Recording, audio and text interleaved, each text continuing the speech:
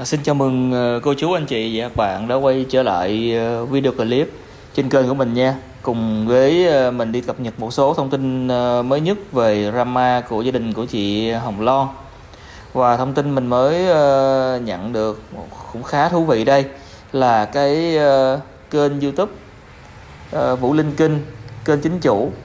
Thì uh, sau khi mình vô mình tìm một số thông tin liên quan về cố nghệ sĩ từ cái kênh YouTube này thì khá đặc biệt là khi mà mình uh, search tìm kiếm uh, với từ khóa là Vũ Linh Kinh uh, đóng mô mặt kênh chính chủ thì nó đưa ra một cái đường dẫn là một thông báo chứ. Tài khoản này đã bị chấm dứt do có liên kết với một tài khoản đã bị tạm ngưng vì vi phạm điều khoản dịch vụ của YouTube. Thì không hiểu là cái tài khoản này đã được chuyển tên cho người khác hay là đang bị dính cái uh, vấn đề gì liên quan đến vi phạm tiêu chuẩn cộng đồng của YouTube mà hiện tại thì cái kênh này cũng đã nút bạc rồi mà đã bị dừng không còn uh, được phát nữa. Thì uh, như một số cô chú anh chị bạn đã biết thì cái kênh này được lập khoảng hơn ờ, 3 năm và người quản lý trước đó là Kim Nga. Thì sau khi mà cố nghệ sĩ qua đời thì ờ, Kim Nga cũng ờ, tiếp tục đăng một số ờ, video liên quan đến những lúc mà nghệ sĩ đi diễn hay là những lúc khoảnh khắc mà trong nhà nấu ăn.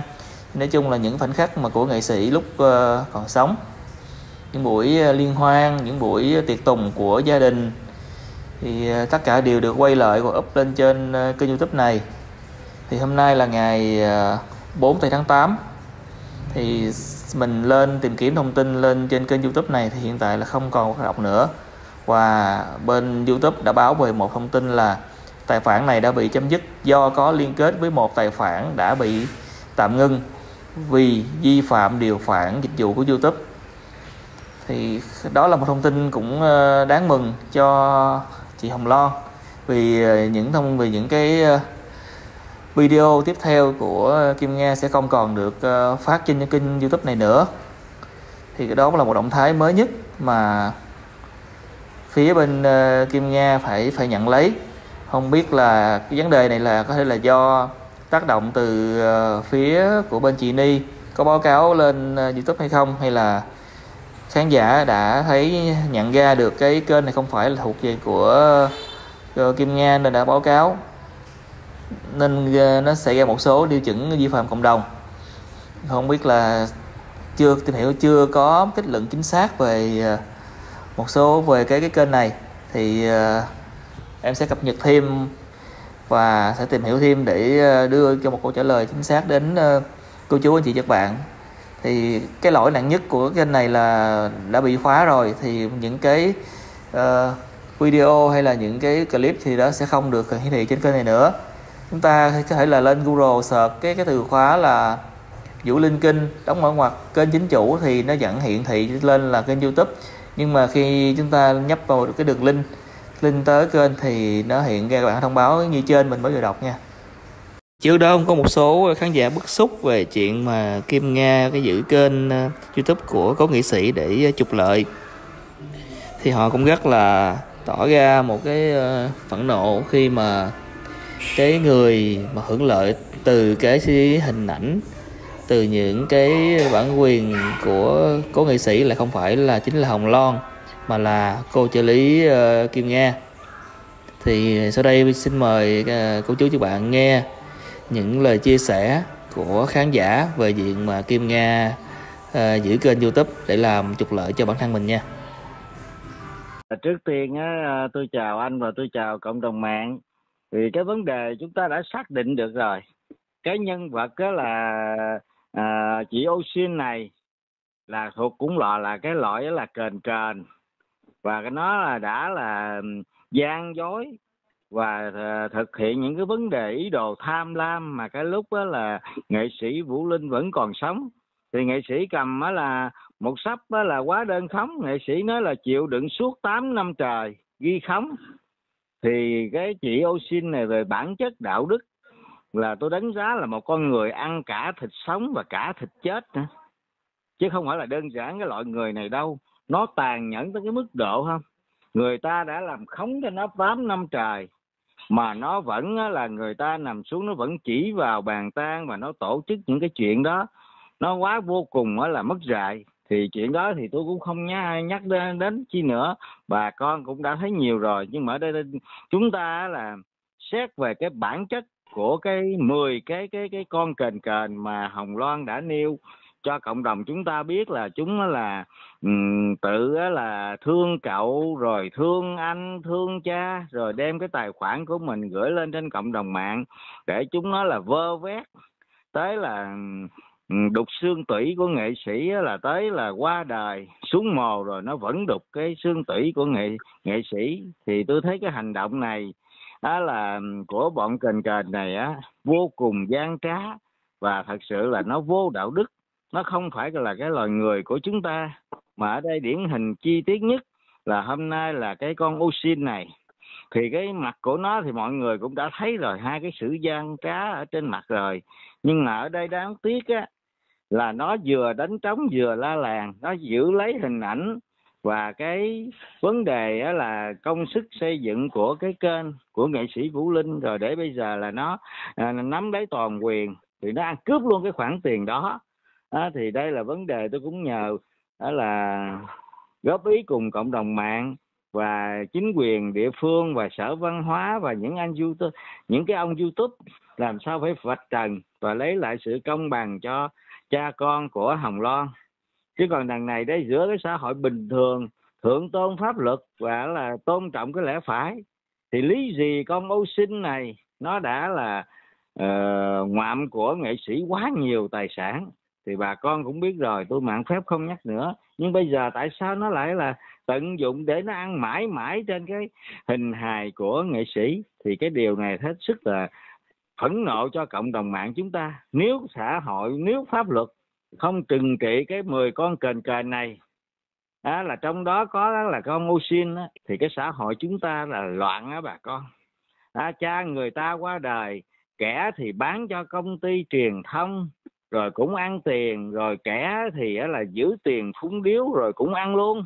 Rồi là ghi ghi đại ghi đùa ghi như cái chuyện trò chơi con nít để gọi là sao kê thế là cũng được là im xuôi. Rồi bây giờ cái con ô sinh thì thật sự với bà con á nó là giá trị gì nhân phẩm gì khi mà nghệ sĩ đã nói là 8 năm trời nó ở đó nó là là ghi là quá đơn thống để nghệ sĩ trả tiền. Thì như vậy đó mà luật trời và luật á, là pháp luật thì cũng không á, là cho phép nó được á, là tồn tại đâu. Nhưng mà bây giờ cái sự trái ngang nhất trớ trêu nhất thì tại sao nó vẫn còn nhẫn nhơ và nó lấy kênh của người cha? Nó là là là khai thác ở hình ảnh người hành động của người cha người ta. Rồi bây giờ nó lên nó du khống người ta. Đây là cái vấn đề quan ức quá bà con. Đây là cái vấn đề hết sức là quan ức. Thì anh có ý kiến gì không ạ? Dạ vâng. Ờ, thực sự đây là một cái uh, sự việc rất là bức xúc đó chú. Tại vì không yeah. Dạ. riêng riêng hồng loan mà tất cả cô chú anh chị khán giả là, là xem theo dõi cái tình hình cái câu chuyện này cũng ờ, đang rất là bức xúc ngày hôm nay thì theo chú thì cái sự việc mà cái kênh ờ, youtube nút bạc này mà hiện tại thì lại đổ ăn cho chị Hồng Loan là lấy lại thì theo chú là ờ, không những Kim Nga thì có những thành phần nào đứng đằng sau không chú?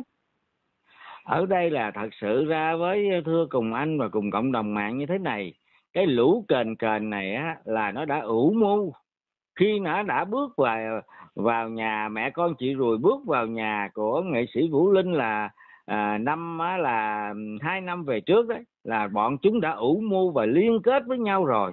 Chứ không bây giờ không nói là một người nào đứng sau lưng đâu. Đây là một cái tập thể lừa đảo ăn sát chết người qua đời và lừa giật tài sản của một đứa con gái mồ côi. Tôi định nghĩa nó là như vậy. Đây là một cái tổ chức đó thì anh thấy không? Là có cái sự là giúp đỡ của của cái bọn ở ngoài nước ngoài. Điển hình như là à, nhà soạn giả gì đó. À, rồi á, là cái anh á, là Việt Kiều Pháp sạc pin gì đó. Thì anh thấy rõ ràng không? Đây là cái tổ chức tụi nó kính kẻ vô cùng. Mà cũng mong ở đây á, là cộng đồng mạng và pháp luật chúng ta phải là gạch mặt bọn này ra để loại trừ chúng ra khỏi cái xã hội này. Chứ không còn nếu như là chúng ta là uh, Ờ, không vạch mặt bọn chúng. Thì cái điều gì tai hại cho cái xã hội Việt Nam chúng ta? Thì điển hình đó anh thấy không? À, kẻ thì ôm thùng phiếu rồi tài sản là của một đời nghệ sĩ tài hoa đến bây giờ không còn một tí nữ trang. À, một cái là uh, một cái điều đó anh thấy lạ hay không? Thì ai là bọn chúng tẩu tán với nhau chia với nhau?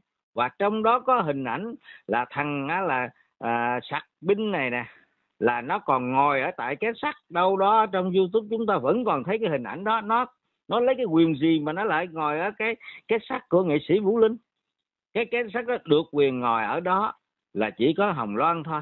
Còn nó ngồi đó để gì rồi đâu đó cũng có ý kiến nó lấy cái giỏ mà à, đồ gì của tư trang gì đó của là nghệ sĩ vũ linh. Thì như vậy có phải đồng bà cái huy chương vàng của nghệ sĩ và số nữ trang đó nó đi về đâu? Đó là những cái vấn đề mà tôi nói thật sự là thức thật sự là quan ức cho hồng lo và nói chung đây là cái sự bất bình và phẫn nộ của xã hội. Khi chúng ta thấy đó là cái xã hội chúng ta là công bằng văn minh và thượng tôn pháp luật còn bọn này nó nhẫn nhơ làm lại những cái chuyện trái với pháp luật. Rồi đâu đó nó đem một cái là nhân vật đã từng làm báo rồi bị là à, thôi việc rồi bây giờ nó đem lên cộng đồng mạng có những cái văn hóa lấp la lấp liếm đi trái lại pháp luật để hòng che đậy lại những cái hành vi của cái tổ chức này. Tôi nói thẳng luôn đây là cái tổ chức. À, mẹ thì ôm tiền thùng phiếu à, thì đứng ra đi thưa đồng sở hữu về tài sản. Con á, thì là giữ cái tiền hình ảnh của công ty media. Cái con giúp việc ô xin thì bây giờ giật luôn cái kênh youtube của cha người ta thì cái điều này quá quan ức bà con ạ à. và cũng mong hồng loan á thật sự sáng suốt và phải cần đó là có nhiều cái cái cái cái cái cái cái vị luật sư hay là những cái người á, là hiểu biết nhiều về pháp luật sẽ vạch trần bọn này và cũng mong á, là cái uh, chính quyền ở quận phú nhuận á, là uh, bên hành pháp và bên đó là à, thi hành luật cũng vậy cũng phải là cố gắng vào một cách quyết liệt trong cái vụ án này. Chứ nếu không thì nó lây lây loan trên cái cộng đồng xã hội người Việt Nam thì tôi thấy thật sự là một cái tai hại. Rồi ngày đây giờ rồi đây đó là nó không biết đi về đâu. Nếu đi theo cái cái chủ nghĩa của cái bọn kền kền này. Và anh có thêm ý kiến ạ? À? dạ vâng thì uh, thực sự thì sau cái sự việc ừ, rất là nóng ngày hôm nay ừ, chính cái, cái kim nga cũng như là bên uh, của hồng phượng tay anh chống mà miệng lại hô làng thì theo con thì yeah. Dạ. đã xảy ra cái sự việc như vậy rồi thì um, chú có thấy là bây giờ hồng loan nên làm mạnh hơn tức là lấy lại kênh youtube được không chú cái đó tôi đề nghị rất từ từ lâu anh ạ à. đề nghị là à, chủ quyền à, trực tiếp nhất là hồng loan á, là lấy lại cái kênh youtube đó phải là à, gửi biên bản về á, là cái ông youtube này để là giải quyết cái vấn đề đây là hình ảnh của cha người ta là hồng hồng loan được quyền thừa kế chứ không ai được quyền mượn vào cái hình ảnh hay hoặc là những cái uh, lời nói kỷ niệm hay này kia kia nọ. Thì đó là hồng loan được hưởng cái kênh youtube này. Còn con ô xin nó là người dân khác họ mà nó đã sống lừa nghệ sĩ 6 năm 8 năm trời qua những cái hình ảnh là những cái biên lai like khống. Rồi á là tiếp đến là nó đã nhận của nó nó nó đã nhận cái tiền công của nó là một cái tài khoản một cái sổ tiết kiệm cũng tiền tỷ và mấy sào đất ở bình chánh thì như vậy. Tôi thử hỏi ở cái pháp luật này và cái xã hội này còn đâu là công bằng còn đâu gọi là văn minh còn đâu gọi là cái truyền thống tốt đẹp mà người cha để lại cho con.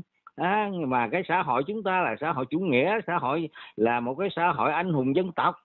À, chứ chúng không phải là một cái xã hội ăn bám ăn lừa lừa phỉnh như thế này, bà con ạ. À. đây là cái bọn này nó dựa vào cái văn hóa Việt Nam nó đòi.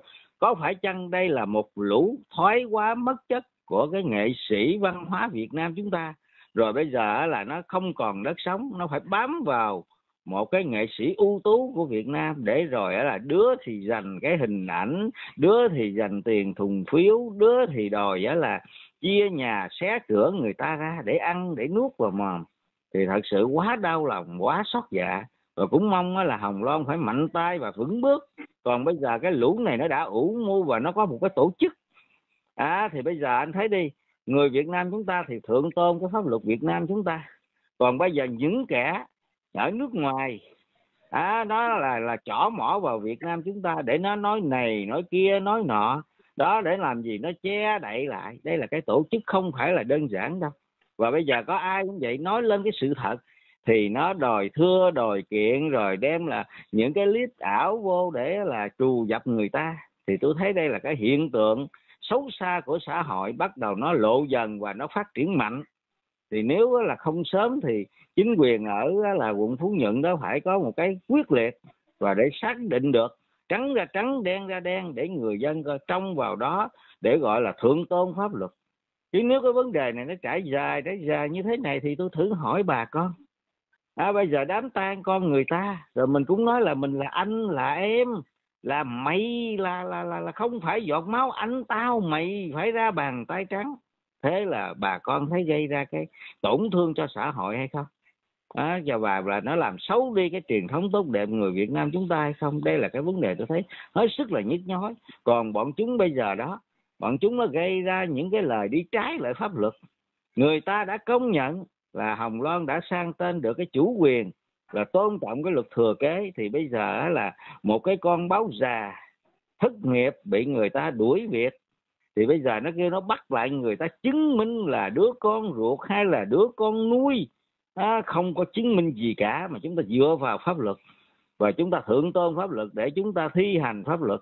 Và tôi cũng đề nghị hồng loan cũng vững bước phải là là là là bảo vệ những cái tài sản cũng như di ảnh, di vật gì đó. Và những cái kênh youtube của cha mình thì hồng loan phải kiên quyết lấy lại. Còn nếu không thì cái xã hội này không biết nó đi đâu về đâu. Nếu để dung túng cho cái bọn này, bây giờ nó loan tỏ rồi đó. Đó mới là một cái là tháng đầu.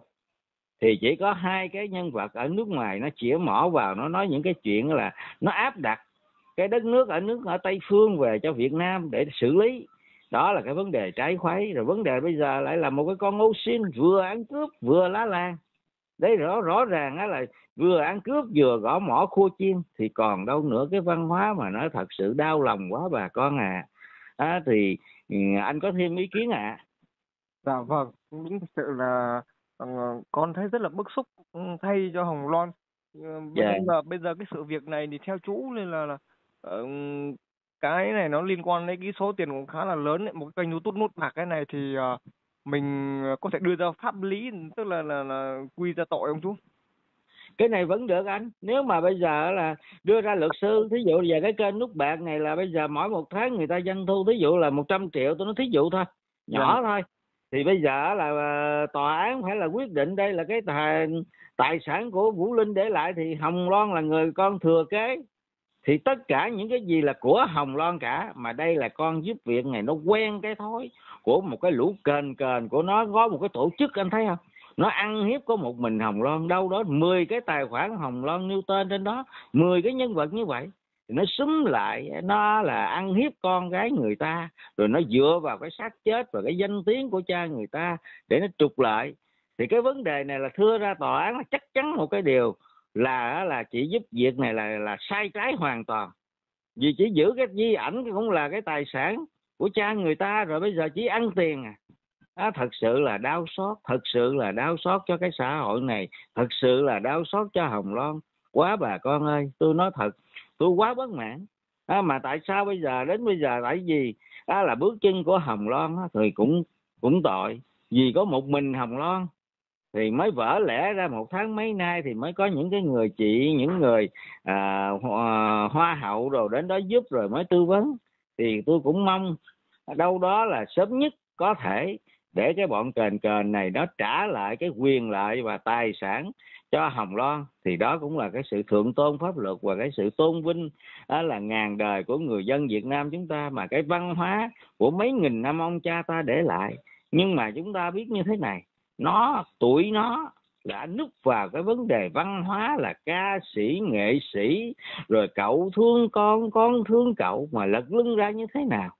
Đó là à, biết cậu á là chuẩn bị chết thế là con vay tiền 100 triệu về con ăn con xài. Rồi cái con đi chỉ đi á là à, đặt tiền cọc cho mộ á là cậu là có 10 triệu. Thế là còn 90 triệu đó có phải là nó ăn nó thực hiện hay không bà con? Rồi bây giờ nó đổi thừa là nó nó vay mượn à, nó vay mượn để nó về nó làm đám của cậu nó. Nhưng mà thực lòng ra bây giờ bản sao kê như thế nào? Rồi những cái vấn đề đã có chứng cứ là bà tư đã thấy là à, chị sáu này ôm một cái là giỏ tiền túi gút và à, trong thùng phiếu lấy ra. Thì bây giờ nó đi đâu về đâu thì cũng mong là ờ, uh, cạnh uh, ờ, chính quyền địa phương và công công an vào cuộc để là sớm tìm lại cái sự công bằng và cái sự minh bạch cho hồng loan. Rồi bây giờ nó lấp la lấp liếm, nó nói nào là con nuôi, nào là là không hưởng tài sản. Rõ ràng nó đang dùng những cái chuyện trái pháp luật để nó phá hoại cái pháp luật Việt Nam chúng ta. Đó là cái con, đó là báo già mà bị đuổi việc. Thì bà con khẳng định, ở đây tôi vẫn khẳng định, cái con mà HHB đó là một con đó là bị là bị buộc thôi việc trong ngành pháp luật thì tiếng nói nó không có giá trị gì trong cái xã hội của chúng ta vì xã hội chúng ta là thượng tôn pháp luật. Còn bây giờ nó cố tình đó là điêu nêu ra những cái cái cái gì? Để ngược dư luận để người ta là uh, có một cách đó là nhìn lệch lạc trong vấn đề này và để cho hồng loan lo rối trí. Rồi thật sự ra bây giờ như thế này một sự đau khổ không bà con cha người ta mất tiền tan điếu tiền ân nghĩa không hề về tay của mà hồng loan dẫu là một xu. Hồng loan phải sức tiền túi sức gì tiền túi ra bà con thấy đau khổ không? Chính quyền phú nhuận có thấy đau khổ cho một cái người con mồ côi không? Đây là vấn đề tôi kêu cứu ở pháp luật. Chứ ở chúng ta thì vẫn còn là thượng tôn pháp luật. Chứ nếu như mà cái sự kiện này nó không minh bạch không quá là à, sáng tỏ thì nhiều cái hệ lụy trong cái vấn đề là là có áp bức có gian dối thì sẽ có sự đấu tranh thì đó xảy ra những cái vấn đề tai hại nữa thì cũng mong là à, pháp luật đó là vào cuộc sớm nhất có thể để lấy lại sự công bằng cho à, Hồng Loan. Đó là cái điều tôi thấy là hết sức là mong mỏi và tôi cũng có vài ý kiến góp ý cùng anh và cùng cộng đồng mạng để chúng ta có nhiều cái suy gẫm ạ. À. và tôi cũng xin hết và xin chào ạ. À. dạ vâng con cảm ơn chú nhiều nhé con ờ, chúc chú sức khỏe và có nhiều niềm vui trong cuộc sống ạ. Dạ cảm ơn anh